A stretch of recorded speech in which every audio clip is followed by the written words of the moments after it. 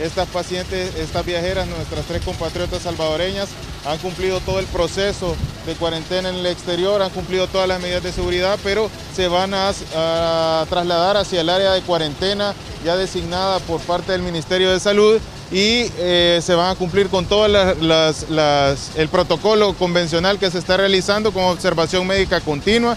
Ellas vienen al momento totalmente asintomáticas, han sido evaluadas ahorita por parte del equipo de respuesta rápida de nuestros médicos que ya están especializados en este tipo de protocolos.